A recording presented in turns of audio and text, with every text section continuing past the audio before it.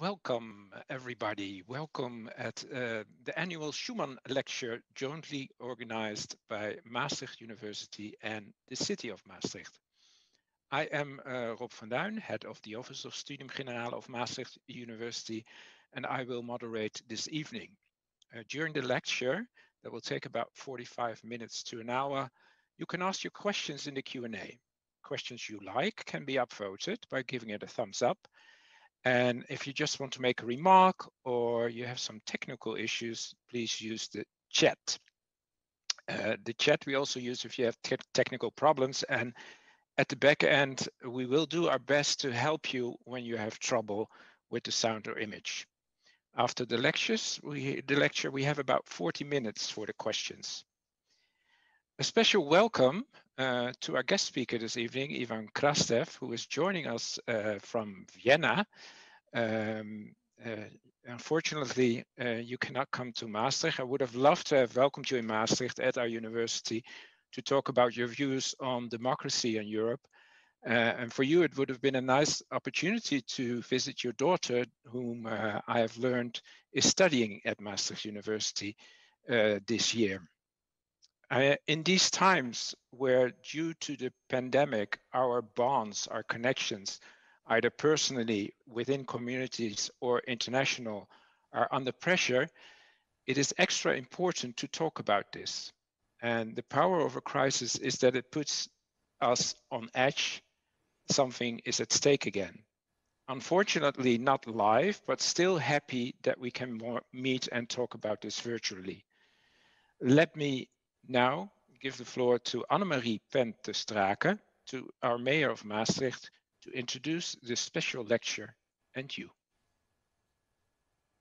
A short clip by Annemarie Pen te Strake, mayor of Maastricht.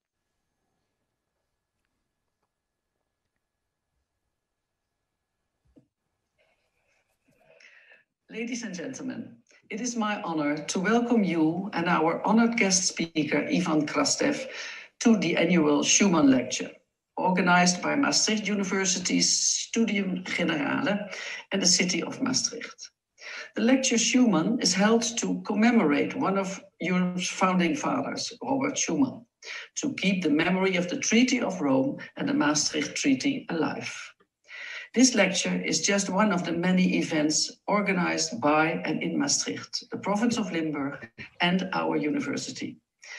By means of partnership, Maastricht Working on Europe, our three organizations jointly took up the effort to literally turn Maastricht into the working place on Europe through a focus on excellent research by cherishing the cultural heritage of the 1992 Treaty of Maastricht and by stimulating the debate and dialogue on Europe.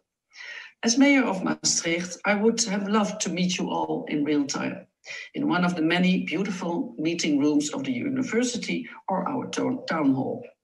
However, due to the COVID-19 restrictions, we meet once again only digital by Zoom.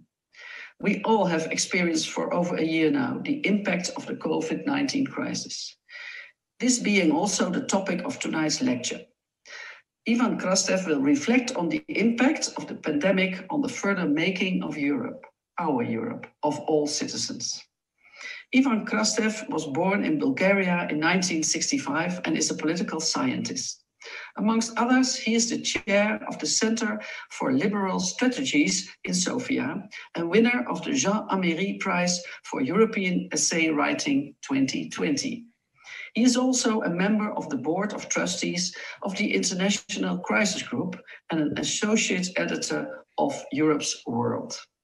I am sure his lecture will offer us new insight on Europe uh, after the pandemic and inspiration for all of us working on Europe. Over to you, Mr. Krastev. Thank you, Annemarie Strake. The floor is yours, Ivan. Thank you very much, and hello to everybody, the invisibles. Public lectures on Zoom are lonely encounters, so this is one of those long-distance relationships that I do believe that we all became used to in the last year. And as you know, like any type of a long distance relationship, in order for it to survive, there are two preconditions. One is patience, the other is imagination. So I very much pray that you're going to be patient and you're going to be imaginative. I'm here in Vienna in the Institute for Human Sciences, where I'm a permanent fellow, and I don't know where you are. Probably some of you at your apartments, other can ride a bicycle, the third can wash the dishes. But nevertheless, where you are, and nevertheless, where you're listening to me, I just want to tell you that uh, I really feel very privileged for the opportunity to give this lecture. One is because, in a certain way, we all live uh, in the world that Schuman and his colleagues did for us. And nevertheless, how critical we can be about many things in European politics or European economy. United Europe is one of the best things that happened in at least my life. The second reason that makes me very much excited about this talk is that I saw the list of the previous speakers, and this is really impressive list. For example, I saw that Stella Ghervas, whose book Conquering Peace I just finished some months ago and which I hope that I have written, he have been speaking in 2017. And 2018, 2019, you have two, in my view, of the finest public intellectuals of Europe you have Michael Ignatieff and Denyum Buruma. So being on a list like this is really inspiring. And uh, as our host already told you, nevertheless, that it was surprised for him. He learned it just uh, minutes ago.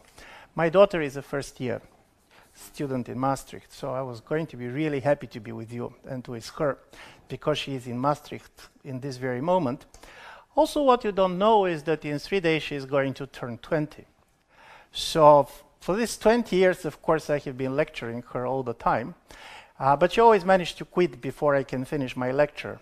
Now, when I'm lecturing in her university, at least I have a hope that she's going to stay till the end. But there is one also very important reason that intellectually I find uh, this lecture special. And the reason is that it happens in a, one of those rare historical moments in which our very idea of what is possible and what is not possible in the world, our collective notion of what is possible is really breaking down. And look in our apartments, we can basically imagine the worlds that uh, normally will not have time to imagine. I'm saying this because experts assert that all coronavirus in the world could be put in a Coca-Cola can. There is something very small about it, but these small and almost invisible things managed to change quite dramatically our lives. I'm just trying to push you to remember the first two or three weeks of the pandemics, when really almost for a month, European Union was suspended, all the borders have been closed, we have been basically living in the shelter of our nation states. Democracy was on hold, extraordinary legislation, state of emergency, has been introduced in almost all EU member states. And even capitalism was on hold because basically for a while almost nothing has been working and everybody expected that we are going to see a financial crisis compared with nothing before. Now with the passing of time, of course we start to trivialize everything that is happening. This is part of the good story of human nature we can normalize everything. We can normalize catastrophes, we can normalize wars.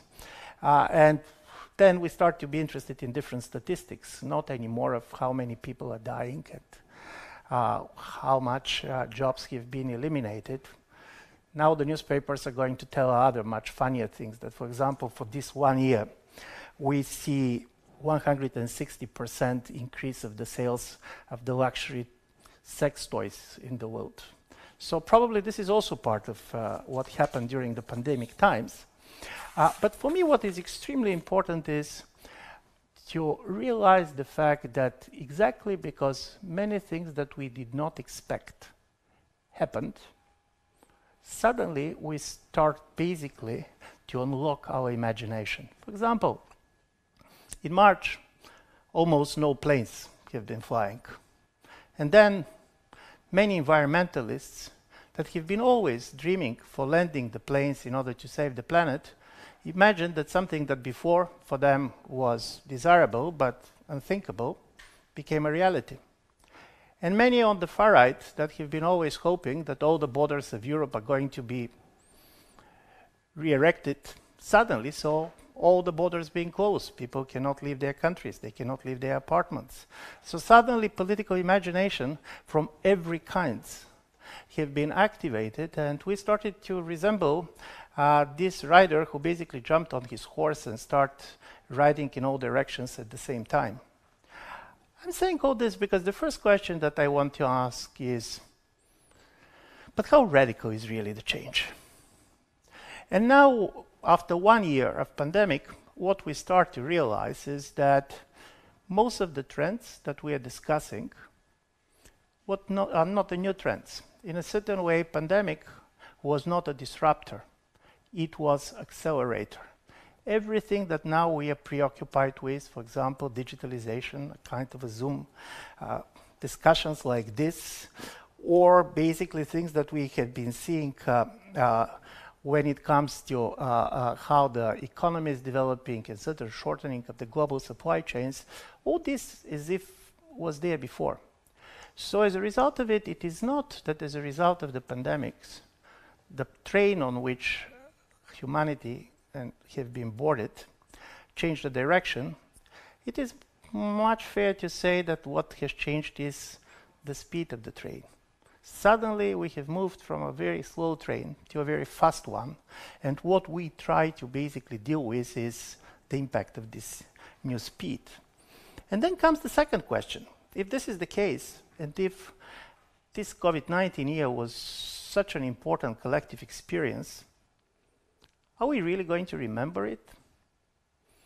From this point of view, history is a great way to look at and what we can see, and there is this beautiful book by Laura Spinney called The Pale Rider, which basically observes that while Spanish flu was probably the most tragic event that had happened in the 20th century, it was totally forgotten.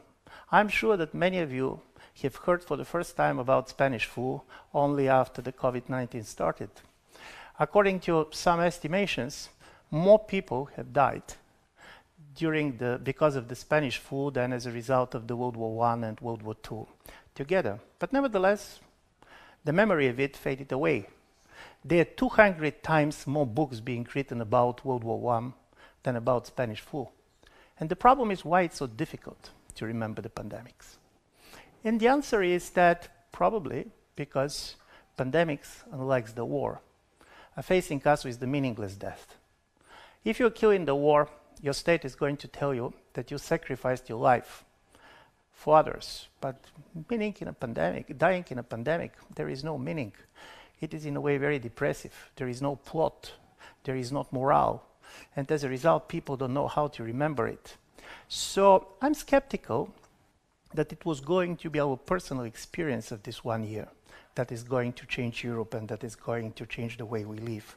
So probably in order to understand what can change and what will change, we should look for something else.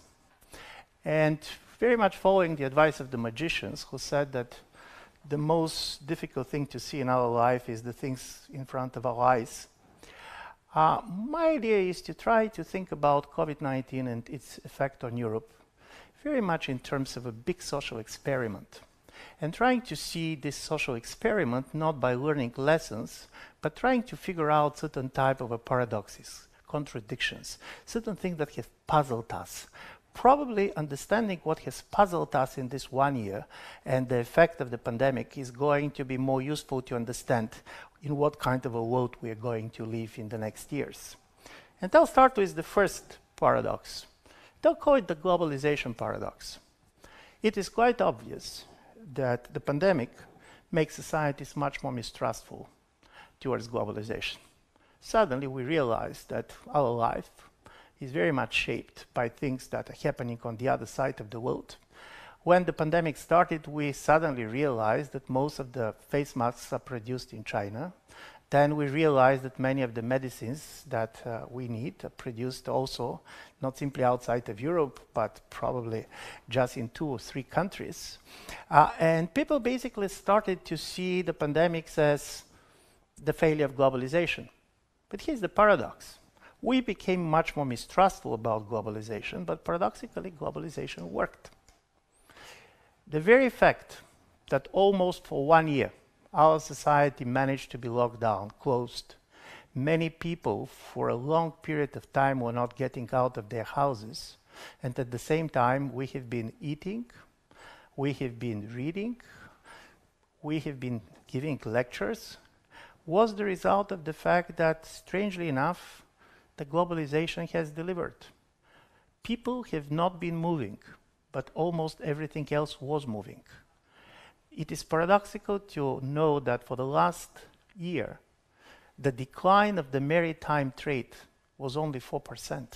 Suddenly, because we have not moving, we don't realize how much other things have been moving and to what extent we were not depending on humans in many of the things that basically we produced and we achieved.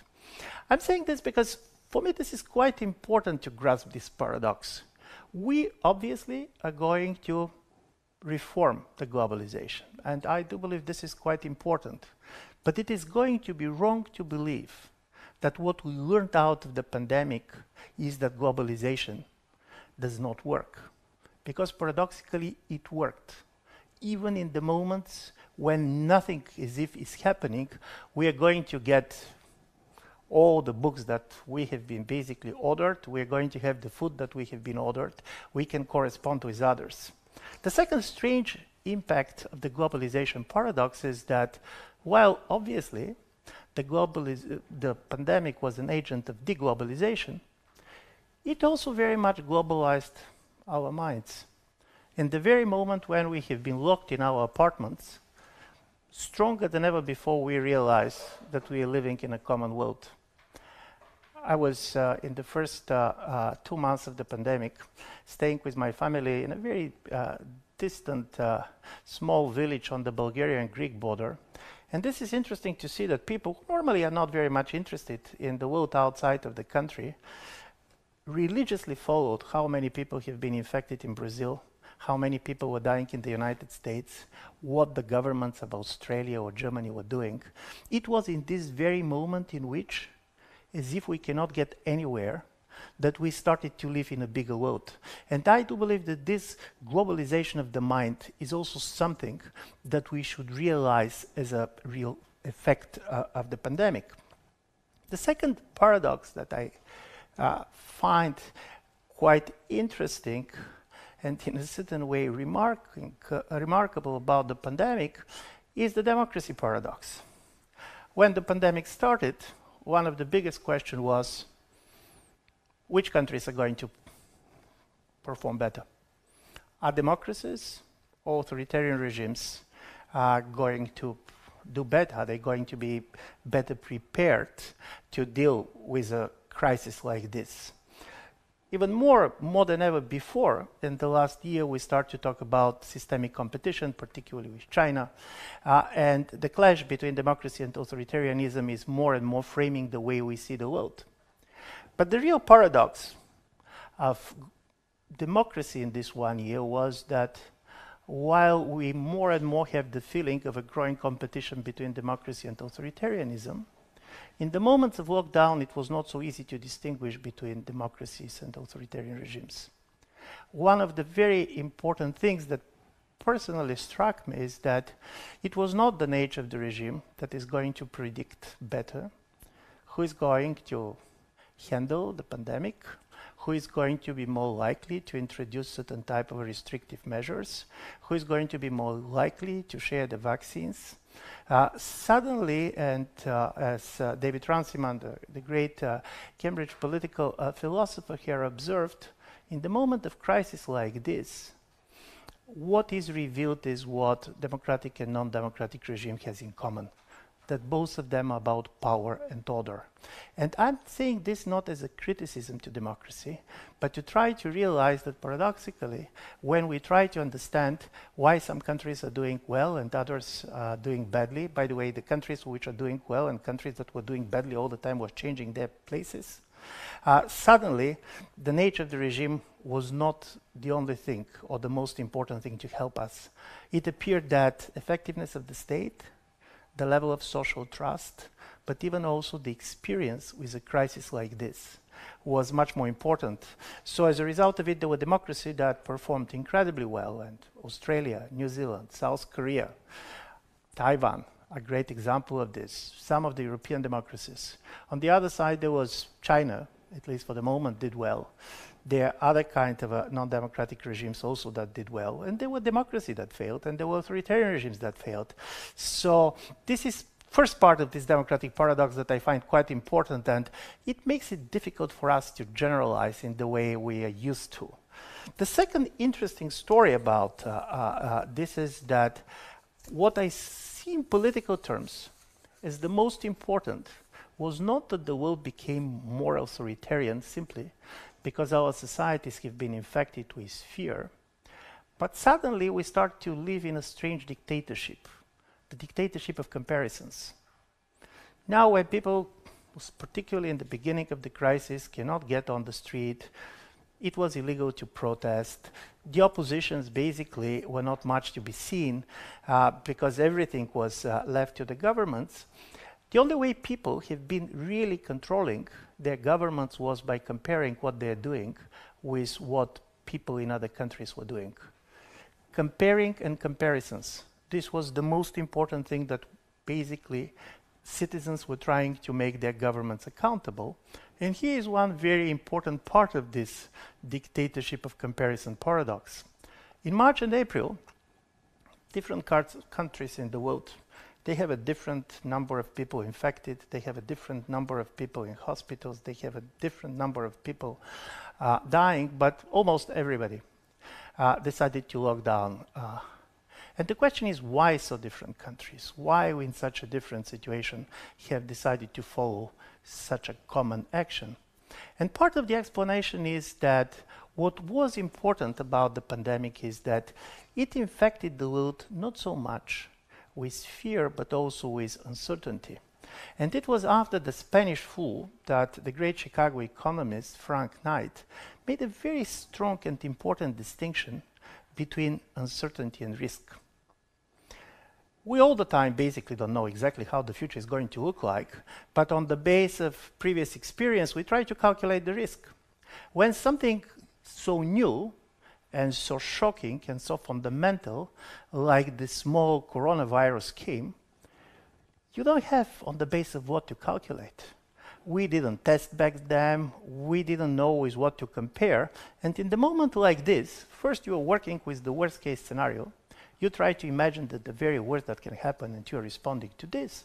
But secondly, if you're a government, uh, basically you're doing what others are doing because otherwise you're afraid that if you're going to do something else and if it fails, you're going to be blamed by your citizens uh, for the results. From this point of view, while I, I'm not a particular admirer of what the Swedish government did, I should tell that I have a huge respect for a country that decided to take a very different course of behavior than anybody else. Being a dissident in a situation like this is not much different than being a dissident in a very authoritarian type of regime. So this type of uh, uh, comparisons, in my view, are very important because it was by comparing that people feel empowered. They can always ask their governments, why in Bulgaria basically you have so little tests? Why basically the Austrians are testing better? Why there are less people dying in Germany than they're dying in Italy? So all these things basically give us power in the moment in which our traditional power was taken out. But at the same time, comparisons is normalizing quite often practices. That could be dangerous. The fact that you have a situation of emergency situation, extraordinary power, almost in every state, makes you believe that this is the new normal. And from this point of view, you're going to ask much less questions that normally you're going to do. So how to compare and how to balance between the empowering side of uh, comparison and on the other side, trivializing, banalizing uh, a side of comparisons which make many otherwise quite dangerous trends look as normal and trivial. I do believe this is one of the things that personally uh, I have been learning from this COVID-19 experience. And then comes the third paradox, the cooperation paradox. if we had this lecture, for example, three years ago, and you're going to ask me what kind of crisis can give most incentives for people to cooperate, I'm going to tell you probably pandemic like this. Because it is not a war, it is even not kind of a migration. In a way, everybody is interested uh, this to be handled because nobody can solve the basically the crisis on its own. And we are going to understand it, in my view, in a very short time, that uh, you cannot basically solve the pandemics if it is not solved anywhere. Nevertheless, how high percent of the population in Europe or the United States is vaccinating, if the pandemic is going to destroy the rest of the world, uh, new mutations are going to come and these new mutations are going to attack us and basically probably some of our vaccinations are not going to work. So from this point of view, cooperation looked as something that was very natural. But it was in this one year that we see almost, particularly in the beginning, a zero cooperation. Most of the countries basically took care of their own and basically try to focus on protecting their own population. Or some of them basically uh, decided to use it very much to export power, to project power, to try basically to gain a kind of a corona dividend out of this. Uh, I'm saying this because this probably should be a lesson for us what we can expect in cooperation only when it also when it comes to a global common problem like climate change. If we were so unable to cooperate on the pandemics, and if we're not going to change something kind of dramatically, I do believe that regardless of the fact that all of the governments are producing a lot of kind of a positive noise about what should be done about uh, climate change, uh, we should be sure that uh, this should happen because the risk is that uh, many of them will not go uh, beyond the words. And uh, to be honest, many of the international relations colleagues are not going to be particularly surprised by what has happened. There was this uh, very funny book which an American uh, political scientist, Daniel Drezner, wrote some years ago, who basically was trying to explain different international relations theories on the hypothesis what the states will do if the zombies decided to attack the Earth. And one of the things that basically he's saying is that realists are going to tell us that if the zombies are going to attack the Earth, be prepared that some of the states are going to side with the zombies. Uh, don't be sure that basically humanity can act as one.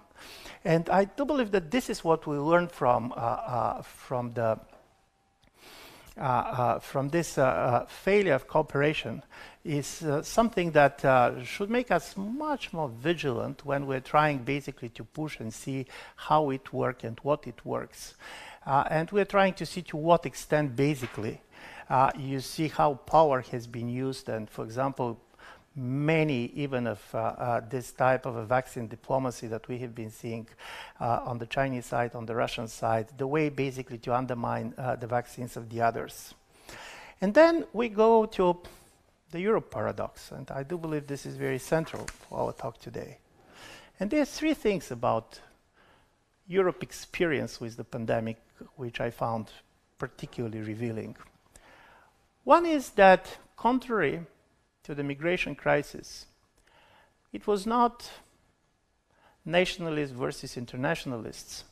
But during the pandemic, it was at one and the same time the nationalist moment and the Europe moment. And the story is that when basically the pandemic hits the world, uh, everybody basically relied very much on their national government, everybody went home. So when people asked to stay home, the first thing that they should decide is where home is. Uh, and it was a quite important decisions. And uh, we could, for example, see in hundreds of thousands of Central and East Europeans going back to their countries because uh, home is not simply where your parents are. From time, well, most of this uh, period, you cannot see your parents much because you're risking to infect them. But home is also where you feel certain type of a cultural security, where you better understand the language, where you basically have the feeling to understand better how the society functions. Uh, but and there was this nationalistic moment. borders have been closed, and by the way, everybody closed borders. But it was exactly at the moment when the borders were closed that the majority of the Europeans, even the national-minded Europeans, realized that we cannot stay in our borders, that this is over, that we're in a totally different period in which there is no kind of a particularly in economic terms, any nationalism that makes sense. Suddenly, the Austrians realized to what extent their economy depends on people who are crossing the border on a daily basis from the uh, uh, from the neighboring countries. And I do believe that this was a very important realization. It became the European moment because suddenly Europe became for all of us a community of faith. And I'm saying this because this explains something that we have been seeing very strongly in the opinion polls, and European Council on Foreign Relations have been doing uh, one of these opinion polls, and this was even before the recovery fund has been voted. Many people have been quite critical to the response of the European Union, rightly or wrongly. They blame the European Union for not helping enough the Italians, the Spaniards in the beginning of the crisis. But regardless of this, one of the strange and very important impact of this crisis is that there is demand for more Europe. Europe is demanded more than before. And this is demanded more than before because it was during this crisis that we realized how lonely we are in the world.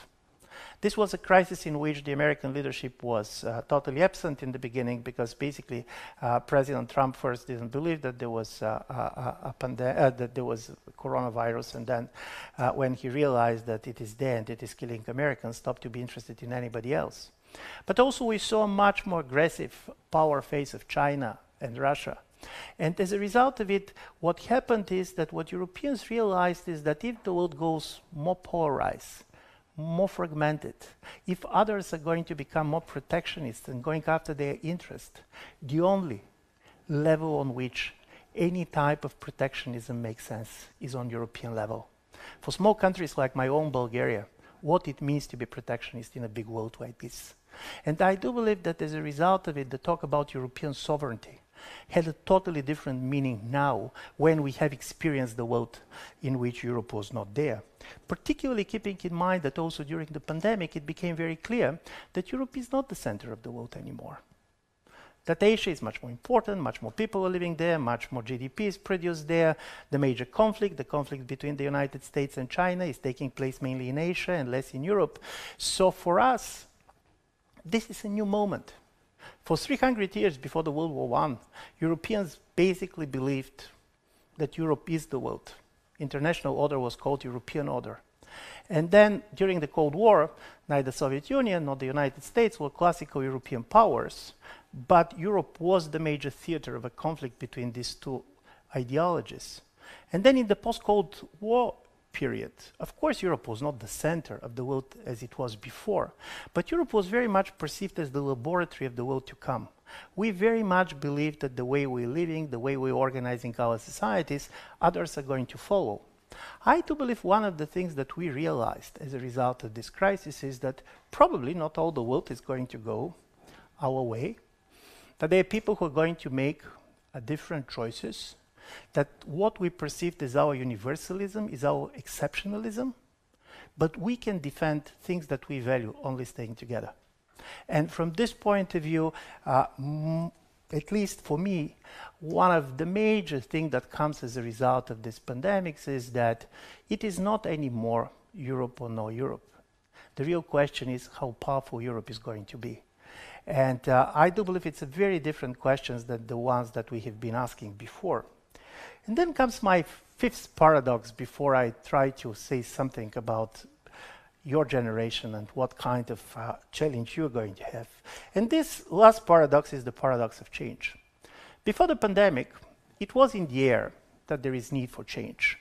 And of course, it was great that many things that before was perceived as impossible, for example, the European Recovery Plan, this next generation Europe, this incredible spending of 700 billion euros, uh, this mutualization of the future uh, debts, things that during the financial crisis were no-go, suddenly became a common sense. Uh, suddenly, now nobody disagree about them. But while before the idea was that we should change something, we should basically try to imagine the world of the future in which we should stay competitive in order to protect our way of life. I'm very much afraid that one of the strange effects of the pandemic is that just going back to the world in the way it was before the pandemic is the change we're dreaming for. And this could be a risk for Europe. Because Europe, because of our age, and we're aging, because of our history, we tend to be slightly nostalgic. It was back in 2019 when the Bertelsmann Foundation did a pan-European study and it discovered that the majority of Europeans believed that the world was better, they believed that life was better before. I'm sure that they're not going to agree when this before was. It is different for different people, for different societies. But there was this idea to try to see, to idealize the past and to fear the future. And this kind of a nostalgic mood can be very strongly strengthened by the pandemic. What we're dreaming now is things that have been there before. We want to go to coffee shops. We want to travel. We basically want to forget how we have been living for the last 14 months. And I don't see anything more natural than this. But if we're going to confine the change just to this, I do believe we're going to make a mistake concerning Europe and concerning future. And here comes the challenge of your generation. Somebody called it Generation C, Corona generation. C could be also for sure for climate. And I see two major characteristics of your generation that are going to be of critical importance. You are small generation. You don't have numbers. The type of a generational clash when we see on different values, on different life perspectives, in many things remind me of 1968. But the difference is that the baby boomers, the generation of 1968, they have the numbers. There was a lot of them. While in your case, because of kind of a demographic decline in Europe, uh, younger generation are minority. Very important minority, but a minority. And in democratic politics, numbers matter. So what should be the strategy of the generation that does not have the numbers, but on the other side, you're going to live in the future much more than my generation. And here I see two different strategies, and I do believe that you very much succeeded in one of them, but probably underestimating the other. Minority can achieve a lot by being intolerant, but basically trying to make others to understand that there are certain things that are so important for them that they're never going to make a compromise on them. And I do believe that your generation, to a great extent, succeeded to do this in many areas. Fridays for Future was one of the great examples of trying basically all the generation to care about things that we were trying to neglect. And you can achieve a lot with this strategy until the moment there's going to be a backlash against basically uh, majorities of all the people said, oh, but this is not against us, they don't understand us. And then comes the need for intergenerational coalitions. And this is something that, in my view, is of incredible importance. Uh, it is so important for the young people to try to see the world also with the eyes of their parents and to try to convince them to follow this kind of a minority of young people. Uh, and this is not going to stay simply, it's not enough to convince your friends, your peers, uh, people basically of your side uh, uh, of the social media, uh, what should be done. Your success is going to be very much that you should infect others. You should infect people that have an experience different than others. And uh, I see this as one of the major, major challenge that you're going to face. And the second story is that you are not simply going to live in a democracies where one of the major divide is between young and old, as was very well seen during the Brexit vote. But also you're going to live in a democracies where one of the major divides is between people with university education and people without university education. And you're going to be the most educated uh, generation, basically, that history knows. And university education is not simply the knowledge that you have, it's not simply the diploma, but it's also a very special experience. This four years that you're going to live together with your peers, discussing with them, this is when your values are going to be shaped.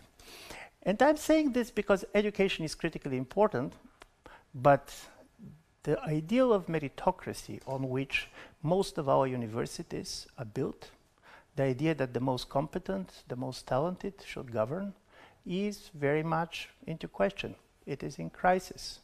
And for me, one of the most important questions to ask ourselves is seeing particularly many of these populist parties which managed to mobilize the vote by basically making the meritocracy an enemy number one. And the question is why people who are ready to give all their money so their kids can go to the best universities in the world, when it comes to voting, they do not want to vote for parties that are going to represent these same people who come from the best universities. And while we basically can say, oh, people are doing this because they're stupid or because they don't know what to do, I just want to tell you that there are four important things that you should keep in mind in order to understand that some people's kind of disillusionment with meritocracy can be much more real and important than it looks like. The first is, unfortunately, meritocracy also means inequality. And you're going to see more and more that you're going to have uh, paid jobs for well-qualified people, and there are going to be less jobs and less well-paid jobs for others. But it was during the pandemic that we realized how much we depend on people who do not have university education. How much we depend on the nurses by who saved so many people, how much you depend basically of people that allows us to function uh, during all these months. And I do believe that this kind of a balance between the head, the hand and the heart, as David Goodhart has been uh, claiming, the idea to try to recognize people not simply for their cognitive capacities, but the other things that they have is going to be critically important and meritocracy is not great at doing this because it is giving a huge prime uh, for the cognitive capacity of the persons. The second is that meritocratic elites, exactly because they achieve what they achieved through hard work and education, have the feeling that they don't own anything to anybody. Uh, one of the funniest discovery these days is that being part of the meritocratic elite means that you're going to work as longest hours as the working class in Britain in the 19th century in the way Friedrich Engels was writing about this. If you're a top lawyer or anything top in these professions, you're going to work for 12 or 14 hours per day. So when somebody is going to tell you, but you have 50 or 60 times better pay than me, you're going to say, listen, but see how much I'm working. I'm not one of these lazy elites. I'm not one of those aristocrats that have been painting and playing piano all their life. I'm working harder than you. But the moment when you basically face the people and tell them that you don't basically depend on them, that your success is totally out of them, you should not be surprised uh, that you are going to be resented. And from this point of view, reinventing meritocracy, trying to see how to recognize other people trying to recognize that some of the things that we love most, for example, our mobility, the fact that you can work as a banker in Tokyo and the next day being banker in New York and nothing is changing, is making people very distrustful if you're not a banker. I do believe if we're going to understand also these weak sides of the meritocracy and try to see how you can get the legitimacy through loyalty, but also physical courage, but also recognizing others is going to be of huge importance. I want uh, to end this lecture with uh, something very positive, and this is that uh, many psychologists believe that we're going to have a great summer. Uh, people are so much kind of longing to get out, to be with, to meet new people. So people are saying that they're going to be a really explosion of dating. They're going to be new people, they're going to be new relationships. So I do believe it is true. Uh, but when it comes to dating, there is one important task that your generation has, and this is the generation uh, task that can make or break Europe. You should basically make Europe learn again how to date the future. If we're going to stay nostalgic, if just returning to the previous normal is going to be our dream, Europe is not going to achieve what people like Schuman have believed that Europe should achieve. So have a good dating and date the future.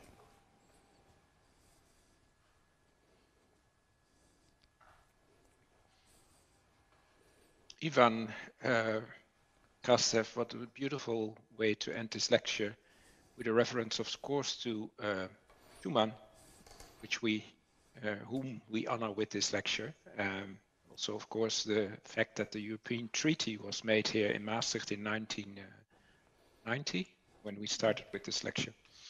Um, there are questions, but um, we agreed uh, that as a researcher working at our university would be giving the uh, first opportunity to actually answer the question live. So my colleague Jaap is going to open up his uh, microphone or ask him to unmute. There is Ivan uh, Rubinic.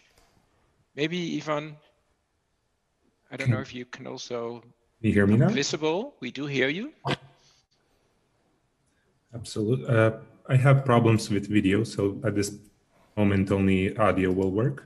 Okay, maybe you can explain a little bit what your work is at our university uh, and why we actually give you the floor, because you're also um, uh, uh, involved in working in working on Europe, if I'm not mistaken. Exactly. So I'm currently involved uh, with Studio Europa Maastricht as a postdoctoral researcher working on Europe uh, with a particular focus on European inequalities and uh, the intersection point uh, between inequalities and the public health problem that we are facing at the moment.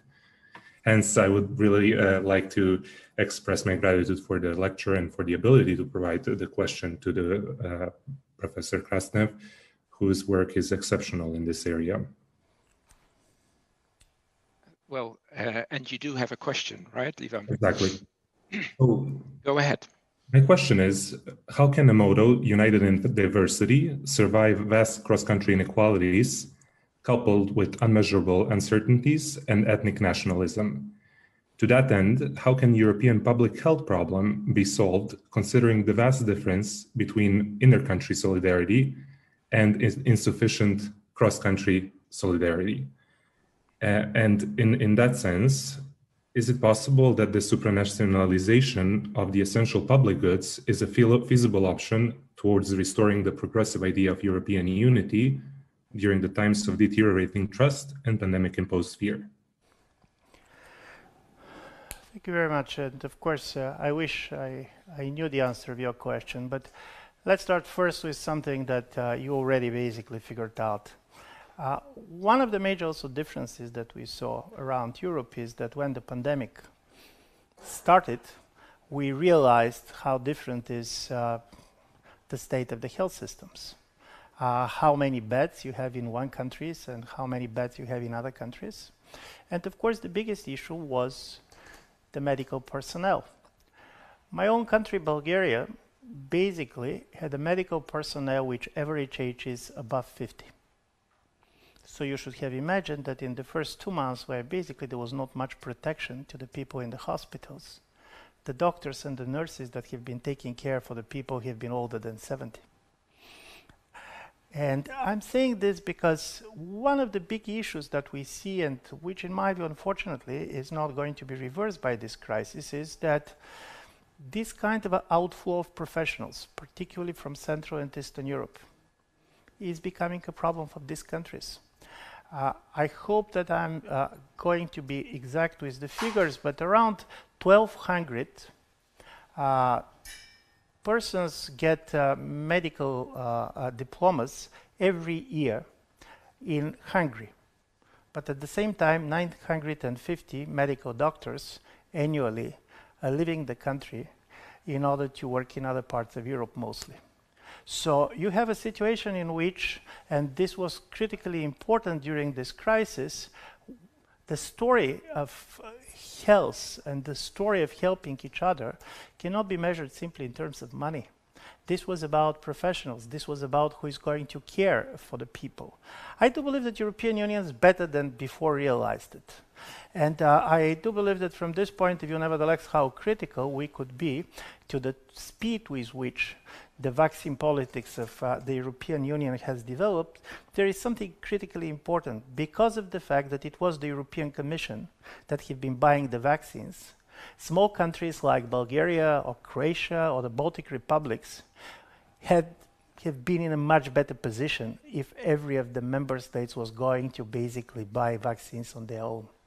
So there was this understanding that you cannot simply have the the COVID-19 being defeated, if you're going to vaccinate everybody in Germany or Denmark or Austria, while basically in the Central and Eastern Europe, basically they're not going to be vaccines.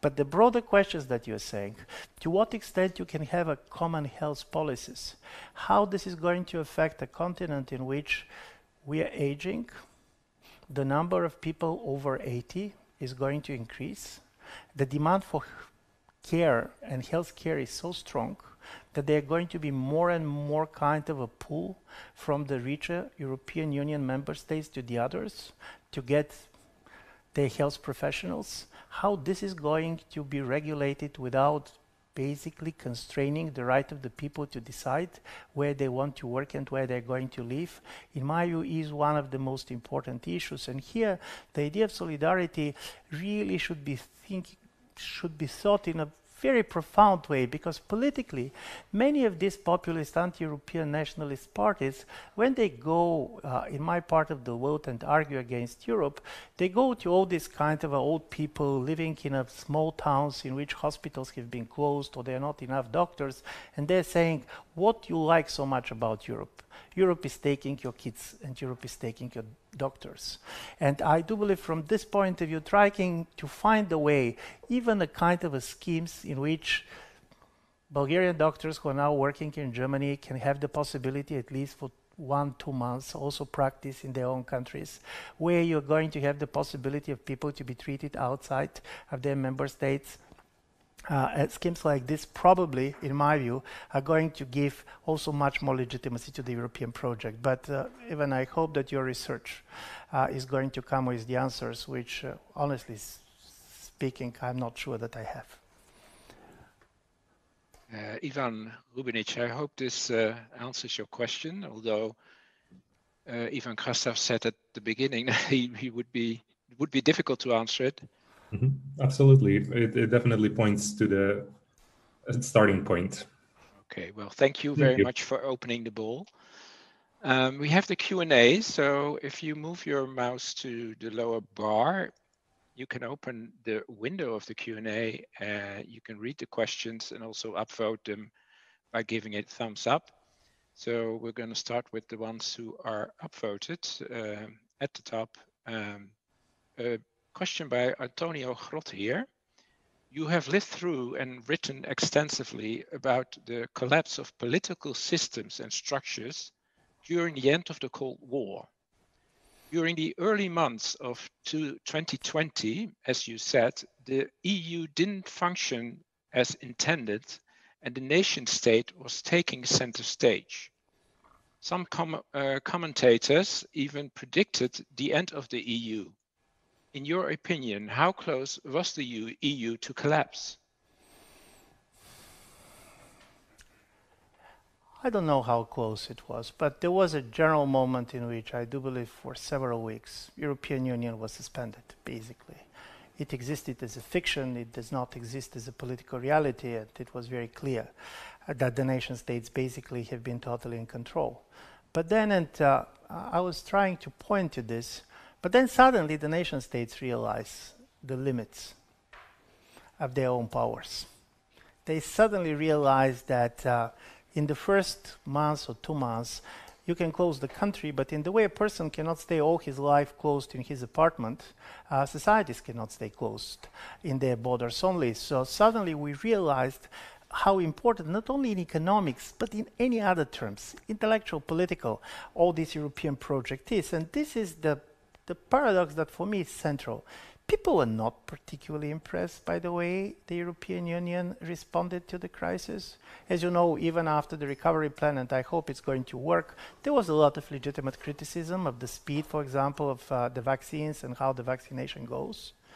But strangely enough, contrary to many expectations, it was not the nationalists and the populists that benefited out of this crisis uh, if you're going to see, strangely enough, uh, the crisis not simply basically didn't help them uh, to get great election results, changed some of their behavior.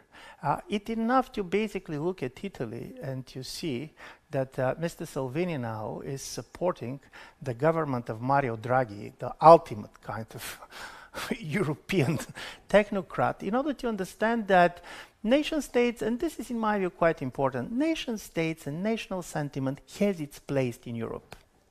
This is not about, from this point of view, the COVID-19 is not an argument for a kind of European uh, federalism. But at the same time, it became clear that only by cooperating EU member states can make any relevance in a bigger world.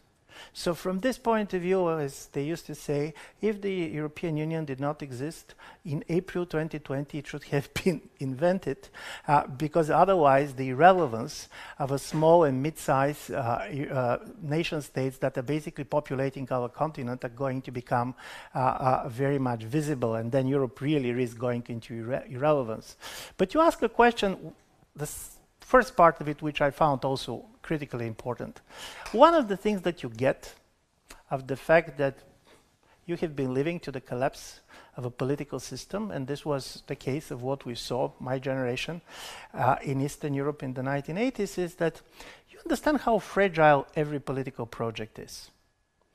Listen, in the late 1980s, Bulgarian communist system looks as stable as nature people can basically imagine how their life was going to go for the next 20, 30, 40 years.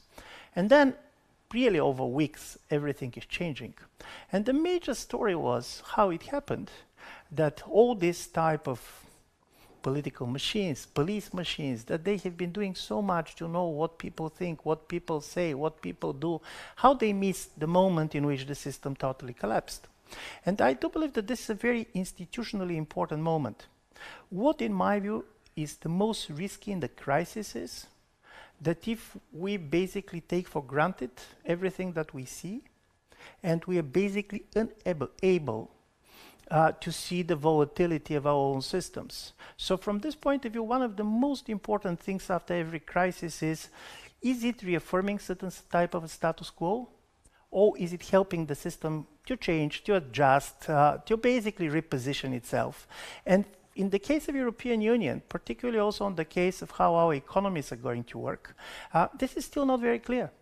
We're going to know the results in one year, in two years, in three years. We survived the crisis. But surviving the crisis is not enough because if we lose flexibility, if we lose capacity to readjust, the next crisis is going to be much more painful one. And this is the things that basically, personally, I have learned uh, uh, uh, uh in my uh, own experiences that there is this very badly guarded border between resilience and decay.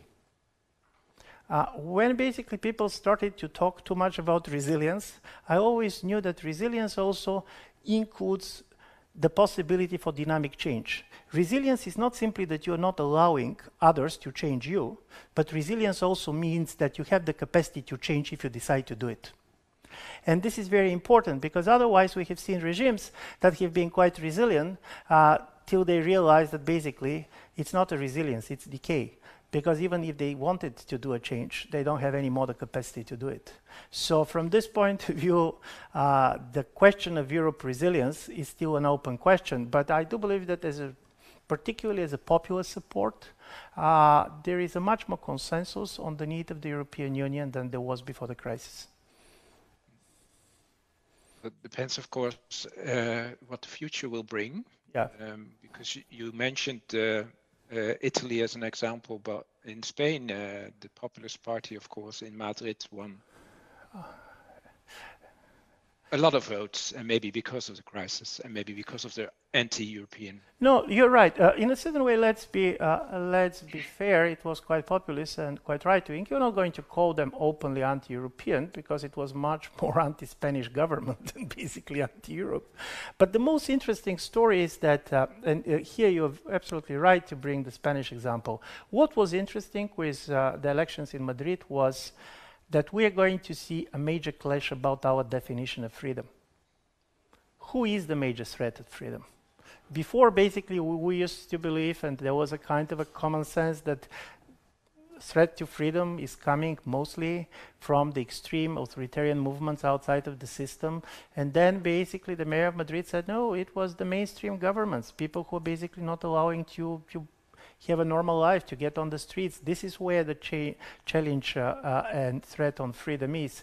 And redefining what freedom means, in my view, is going to be one of the major political issues as a result of the pandemic. And this is going to be different because uh, different political parties and different political ideas are trying to reformulate what freedom means. And here we should also not be complacent. Listen, I, I'm a person who believes that most of the lockdowns have been totally legitimate. It does not mean that people should not be allowed to question this. Because the most important about the state of emergency is, the, which makes it very different between the democratic and not democratic states, is we have the right to look back and to see what was legitimate, what was not legitimate, what was done in order to make life easier for the people, and what was done in order to make the life easier for the governments.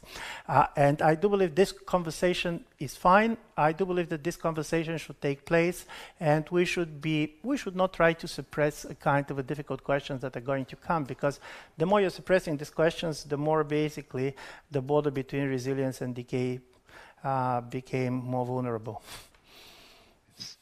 Next question by uh, Christina Meyer. I was wondering whether those dictatorships are really perform, performing as good as some democracies, since we cannot be sure whether they are transparent about the numbers and methods.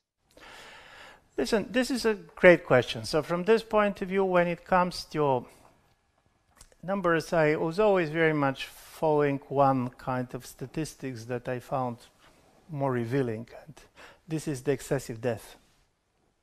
This is not how many people you claim basically has died because of the pandemic, but how more, how many more people have died uh, during this year than what you can expect on the base of the average number of uh, uh, deaths uh, in the previous years. And from this point of view, uh, I do believe that uh, our colleague is right, but because you're going to see some countries that basically claim uh, that they did relatively well. Russia is such a state. And then when you see the level of the excessive deaths, uh, it's very high. It, in fact, was the second highest. Uh, uh, but on the other side, you can compare. And this is compare not what they're much reporting, but you are comparing, as I told you, excessive deaths. And also what you're comparing is some economic parameters that basically are comparable.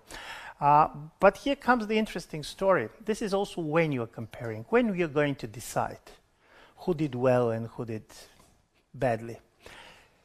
Six months ago, many people are going to very much praise Germany and Germans are going to praise themselves. So now basically they're in a less kind of a euphoric situation of how well they're doing six, eight months ago, Central and East European countries, contrary to all expectations, were doing very well. And I remember people asking me why Central Europeans have so low cases, why you're doing so well. So nobody's asking this question anymore. They're asking just the opposite question, because Central and East European countries uh, have been one very much damaged by what happened with the new wave. So strangely enough, even for countries like China or Russia, uh, China for the moment, of course, they manage uh, to contain the virus and uh, they manage to export incredible amount of vaccines in the world. But one of the interesting stories, both in China and Russia, they're selling vaccines outside of their countries. They're not vaccinating their population much. Strangely enough, the trust uh, in Sputnik vaccine, and this could be a good vaccine, so it's not a judgment on vaccines. I don't understand anything on vaccines, is high outside of Russia than within Russia. Uh, so if everything is done, you don't know how it's going to be in six months, in eight months. So strangely enough, in every single moment, we try to answer the question, who have won the war? The problem is that the war is not over.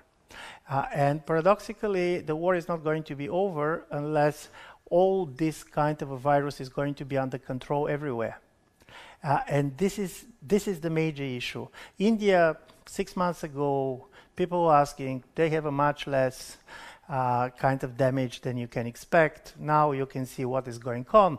And of course, all these mutations that are taking place uh, can bring back uh, uh the pandemic. So one of the interesting story about post-pandemic world is that most probably this is not going to be the world without Corona. This is simply going to be the world in which Corona is not this type of a, a catastrophe that we are seeing. And, and this is, in my view, also pushing us to think in a different terms about everything that we're experiencing, uh, we, we cannot live with the expectations that there are not going to be challenges, that there are not going to be risks. And talking about Europe, one of the things, honestly speaking, that make me nervous during this one year is that government starts to promise people things that even God never dared to promise, almost immortality.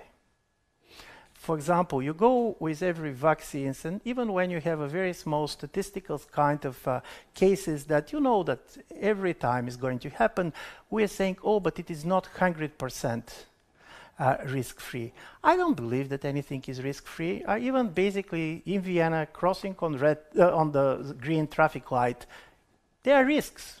There is that somebody can hit you.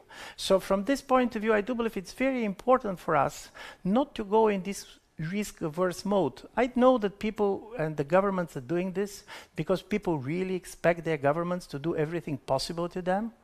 Uh, but promising the low to is a very low risk while we understand that there are going to be more and more risks coming from different stories because of technology that we're adopting and we're using. There are going to be more and more unintended consequences. So when we talk about resilience, we normally talk about resilience on the level of society, on the level of the state. But I do believe we should talk also resilience on the level of individual. Uh, because suddenly from time to time, I have the feeling that we have lost resilience, and it took a virus to remind us some very obvious things. For example, that we are mortal.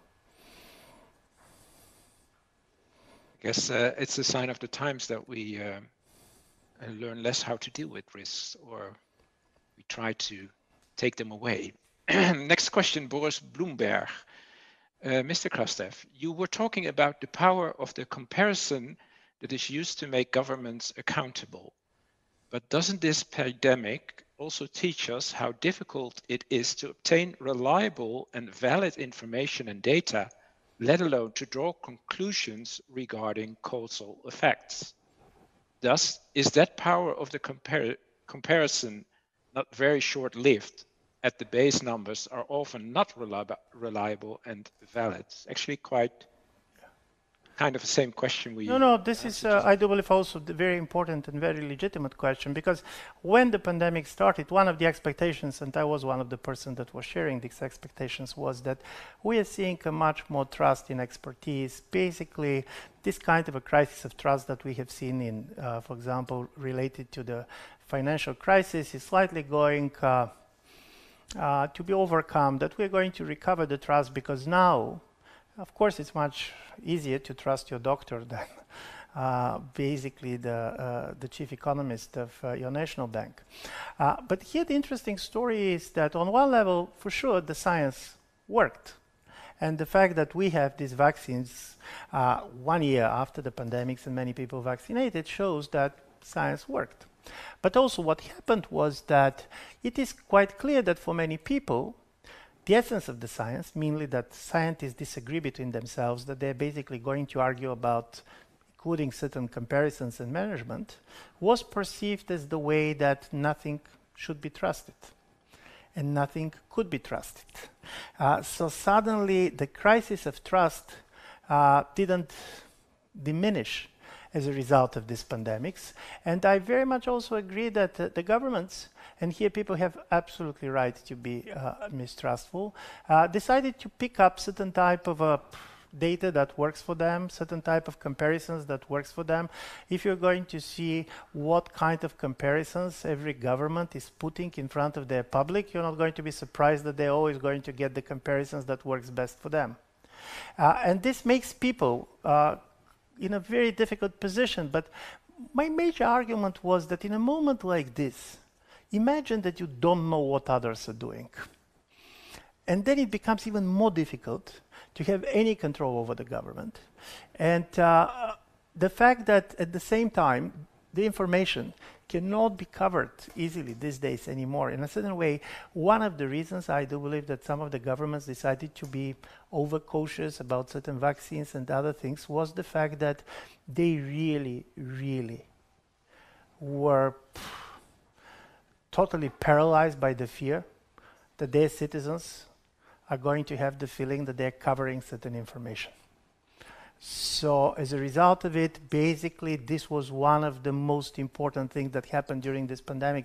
The moment the governments decide to cover certain information and it is going to be revealed, I do believe that the government starts to have a problem. Uh, but the idea that you're going to have too many comparisons, that everybody is going to find certain type of a data that works relatively well for them, uh, this is absolutely valid, and we're going to see more of it. And this is also interesting when we talk about all this uh, infection of conspiracy theories, of uh, disinformation that uh, a lot of colleagues have been recently uh, writing about. One of the things that struck me is the following. When we talk about misinformation, normally we talk about how misinformed others are. Uh, I almost never met a person who told me I'm the victim of misinformation. Uh, but basically, I saw a lot of people and talked to a lot of people who basically are saying, listen, I talked to somebody and he was totally misinformed. And he was totally misinformed because he had a view different than mine. So uh, from this point of view, this is becoming quite important to try to understand that facts, even when they're correct as facts, put in a certain frame, manipulated in a certain frame, can have the same kind of a disinformation effect like a open lie and even much more powerful than this. And, uh, and the re reason for this, at least in my view, spread of conspiracy theories is also the fact that we're living in a world in which our personal experience is less and less relevant. Normally, the idea of the common sense means that we have enough experience with the world around us, and this allows us to be equally competent when it comes to our common life, when it comes to politics. Now, many things that happened in politics are not based on something that we have a personal experience with. Uh, very few of us knows how certain type of a vaccines works or what should be done about this and that financial issues. And this makes people very mistrustful. And this is an important, uh, at least for me, this was one of the central theme in my work. I do believe that democracy needs mistrust when basically people start trusting too much their governments, it does not end well. And if you don't believe it, ask the generation of our parents in Eastern Europe. Uh, but there is also a certain level of mistrust that becomes totally disempowering. Samuel Johnson, uh, a Brit before Brexit, some centuries before, used to say, better be cheated than believing nobody. And I do believe that this kind of a generalization of mistrust, the idea is I cannot trust anybody, I cannot trust anything, is becoming a major problem for any idea of a social and political change mistrustful people cannot change societies because in order to change a society, you should be ready to trust somebody. And does this this mistrust become more visible because of this pandemic? That you totally listen. Already there, see, but it becomes more visible. It became more visible. It becomes also, to be honest, much more dangerous. Uh, because if till yesterday we have been talking about the lack of vaccines, now particularly in the United States, you can see it's, it's not about the lack of vaccines anymore. It's basically no people who wants to be vaccinated, and these people don't want to be vaccinated because they fundamentally mistrust what the governments are saying, what basically scientific community is saying. And most of these people are going to have a very sound uh, academic argument coming from other doctors. Uh, and I do believe this is a situation in which mistrust can be empowering. And in a democracy, mistrust wasn't empowering. But there is certain quantities of mistrust when they inject it in a society, when it becomes totally disempowering and basically paralyzing our possibility for collective action. Thank you for that answer. Um, Manti, I'm not going to pronounce the last name, it's too difficult for me, or Chatsi Michalidou. Um, it was mentioned that the globalization of the mind plays an important role on the effects of the pandemic of COVID-19. Could you explain this sentence in a more deep way, please? So yeah, listen. Mobilization of the mind. Yeah.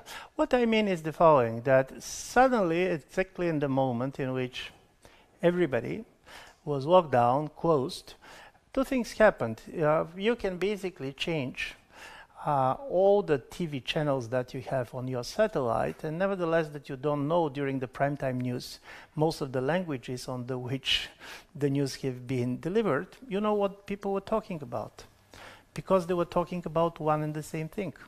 They were talking about corona, they're talking about pandemic, they were talking what is happening in the world. And suddenly, uh, many people who otherwise were not very much interested what is happening outside of uh, their town or what is happening outside of their state realized to what extent their life in the most direct sense of it depends on something that happens thousands of kilometers far away. Secondly, with digitalization and the moment that because of the pandemics, many people that have not been using so much internet and others uh, were very much relying on it. Uh, suddenly, it's, uh, it was not deglobalization, it was delocalization. Suddenly, you, you were equally close to everybody. Uh, some of your relative living somewhere in Brazil was as close to you as your physical neighbor because anyway you cannot leave the house. You cannot uh, meet him. You cannot uh, uh, talk to him on the street. And i do believe this realization that you're living in a common world which was something that political scientists or economists and so on are saying all the time but it's not a everyday experience for many people suddenly because of the pandemic it became a common experience and this is what I do believe really globalized our mind is that suddenly you understand that you're living in a world which does not end up on your borders. Uh, and everything that is happening to you, and you realize it not on a theoretical level, not because you read something, you're just experiencing this, and you start to be interested in things that normally you're not interested in. Thank you. Next question, again one by Antonia Gott here.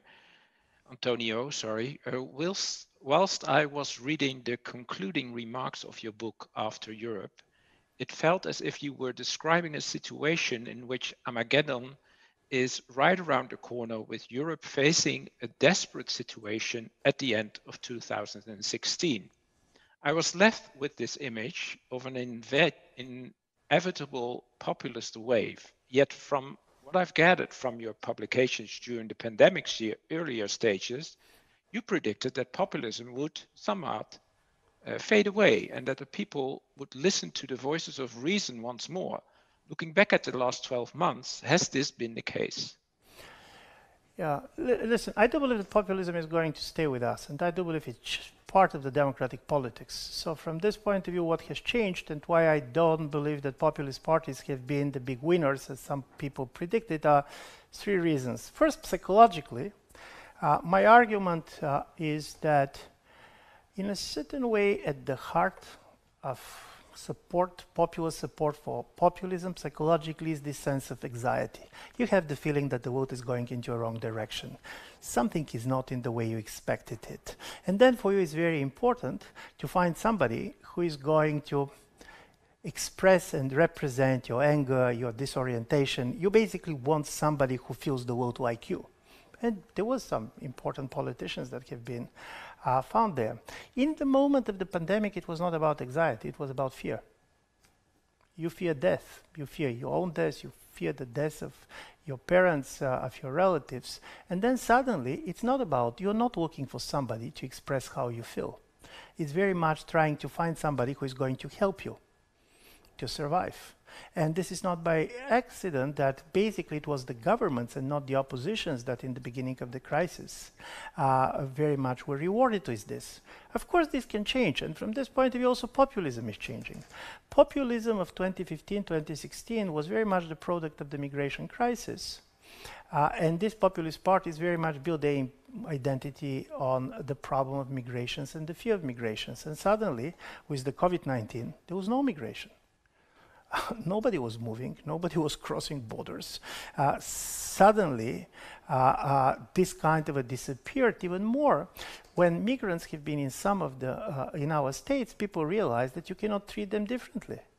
Uh, Portuguese government very early uh, during the pandemic said we're not going to make distinctions between citizens and non-citizens because if you're just going to provide health uh, and medical services uh, to the citizens and leaving non-citizens to get infected this is not going to end well. So from this point of view, also the disappearance of migration not simply reduced the support of some of the parties, but also basically uh, changed them. Uh, and as I already mentioned, suddenly this idea that Europe is very much lonely, that you should try to find much more power, that we cannot do it. I do believe this also had a very important role for people like Salvini and others who realized that without the money coming from Brussels, without the money of this recovery fund, basically how Italy is going to survive the economic uh, uh, consequences of this. Does it mean that basically the populist parties are going to disappear or that they're going to be always on the losing side? I don't believe this. And I don't believe this because first, uh, there are going to be some important economic consequences, also because people are going to react to certain things that they do believe that governments falling in love with the state of emergency and basically restricting rights and doing things like this. But thirdly, uh, and for me this is very important because populism is not now characteristic just of a single parties. This is very much about transformation of how, how our democratic systems works. This is very much about personalization of the leadership, the decline of the ideological parties, uh, and I do believe from this point of view many things are changing. Uh, what is going uh, in my view also to happen is that we're going to see that this type of a populist mobilization they can have a different impact in different places. These days I was very much watching what is happening in places like Poland. Highly uh, important and very polarized society with uh, quite nationalistic uh, government in power, very much the one that traditionally have been opposing European Union, particularly on the value issues.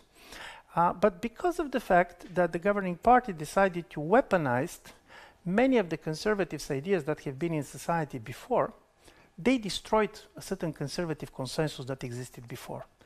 Polish society had been, uh, for very important uh, reasons that we can discuss, quite conservative on issues like gay rights, gay marriages, and so on. So this kind of conservative consensus was going much outside of the governing party. But now, because the governing party made uh, the war on the gay rights and others its major platforms, many people who otherwise are not particularly supportive for gay marriages, they're never going to attack them anymore. Because attacking them means that they're going to be identified as supporters of a government they don't like. And I do believe this type of a changes that goes on different level is also something that is part of this populist challenge. And uh, as a result of it, I don't believe we're going to be back where it was. Many people don't understand to what extent the political and the party systems of the Cold War period have been very much preconditioned on the Cold War. Have been preconditioned on a totally different type of economy. So there are going to be changes. Uh, but uh, my feeling, at least for the moment, is that in the last 12 years, uh, the populist uh, parties and populist leaders have not been the greatest uh, uh, winners of, of the crisis because they like crisis, but they like the crisis that they create themselves. This was not one of those crises it's not like you said that a lot of uh, uh, things accelerate in this period because yeah. of the crisis that the populist uh, movement will accelerate. Yeah. What's in your view? Anthony Bloomberg, you explained how the pandemic led to an eventual deepening of the European Union, such as the establishment of a strong European health union, for example. Would you say the pandemic might also lead to a widening of the union? An enlargement? Uh, on this, unfortunately, I'm less uh, less convinced for several reasons, uh, and the reason is that one of the major reasons. This is enough to see basically how also the union functioned during the pandemics. As somebody uh, who basically following the Western Balkans, I find it really shocking to see that European Union that have basically buying millions of doses and trying to basically distribute to the member states and so on, didn't manage to find 20,000, 40,000 doses, for example, to give to the medical personnel in North Macedonia. And it was the Serbian president, Mr. Vucic, uh, who basically should give this to them. The same was Albania, which basically get their vaccination from Turkey.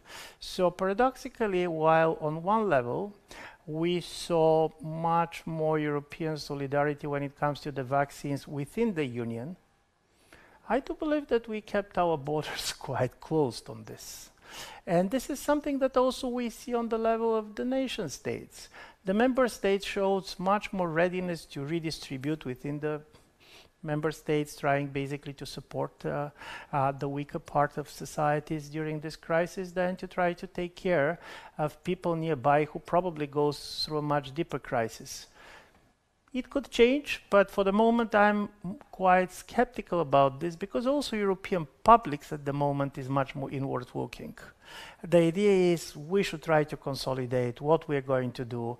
Uh, and uh, for the moment, and particularly with a kind of a very difficult institutional environment which the European Union has, where every almost single country can veto any important decisions, uh, the idea of the new member states and the enlargement for many people is, are we really ready to import more vetoes? And as you ask the question like this, the answer is no. Next question by Fabrizio Ferraro. You commented on uh, merit meritocracy and democracy.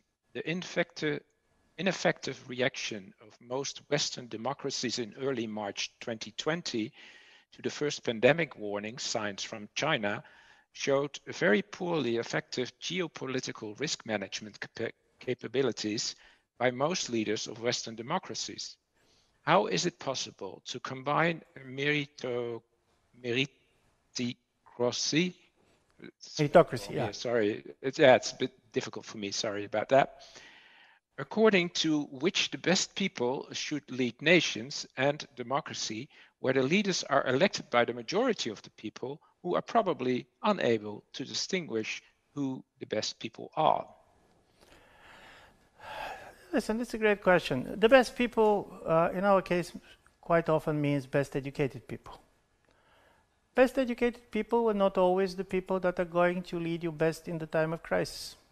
Because in the time of crisis, there are certain things that are quite important and it goes beyond the cognitive capacity of the leader. You can be very smart, but in the moment of crisis, you should be also quite decisive. You should be ready to take risks. And this is not something that basically comes with your PhD. Uh, uh, this is something that is very much about character. This is also try to understand better how people feel and how they react to this or that. So from this point of view, I still believe that meritocracy is quite important and giving possibility for people to compete is critically important. But part of the geopolitical negligence uh, of European leaders that you point out, and which I very much agree with you, is the result of the fact that Europe is find it very difficult to depart with the idea that the world is not like we wanted it to be. Uh, in a strange way, uh, we have been so much accustomed to the fact that, for example, economic interdependence produces security.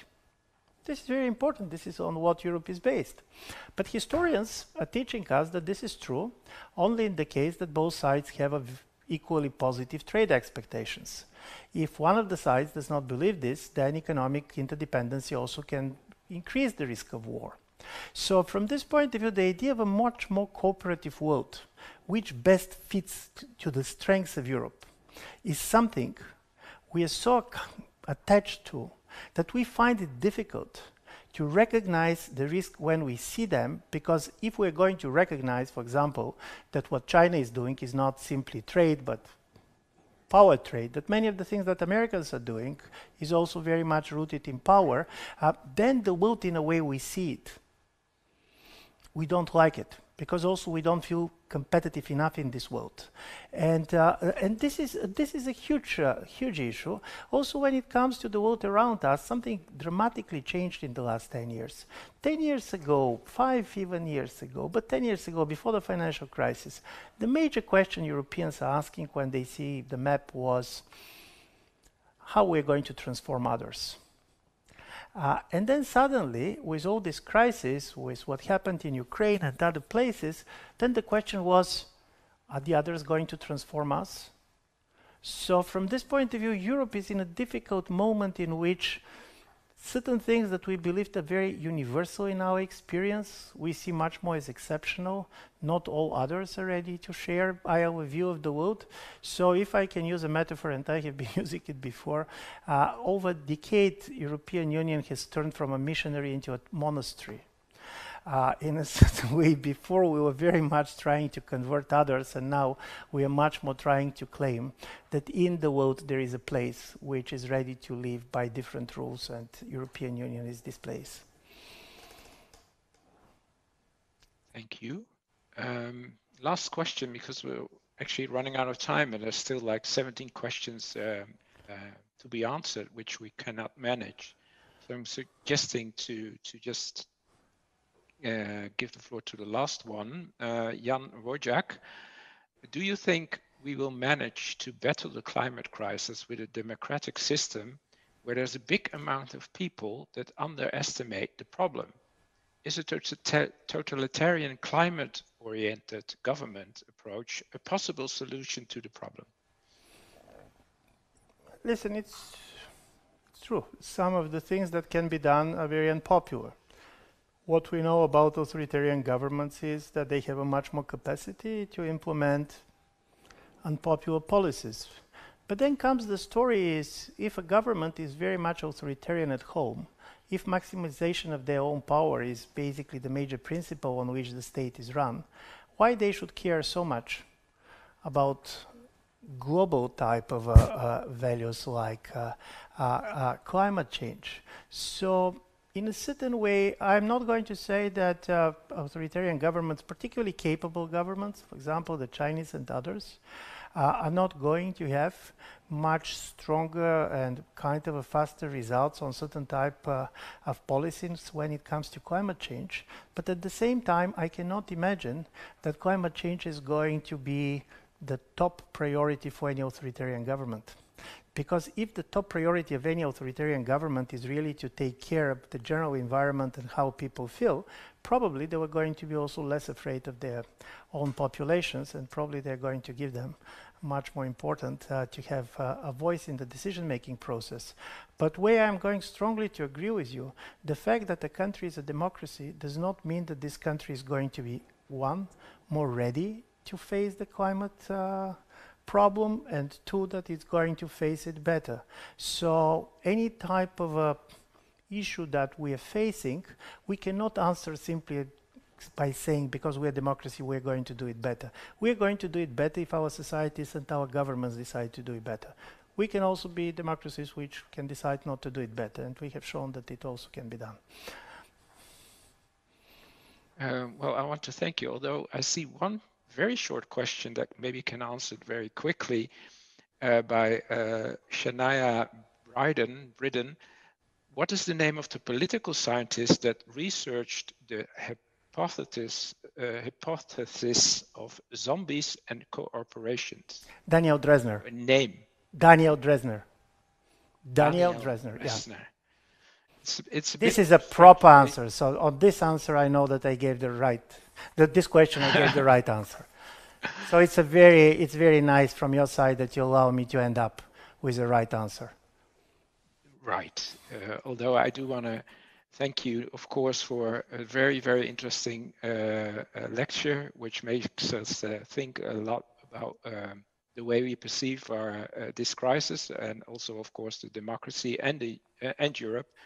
Um, I really did like um, the end of your lecture also where you address the, the younger people, our students in this case, uh, since they are uh, a minority, uh, still uh, it's their future we're talking about and it's very important that they uh, somehow get a voice or maybe take a lead um, see in the future of course. We don't have a we don't have a glass ball that gives tells us what is going to happen but you sketched some nice uh, views on um, basis of your own knowledge and insights on the EU and what is going to happen after the pandemic, uh, maybe we will have to ask you back indeed to see uh, where we are in a year from now, maybe a bit later.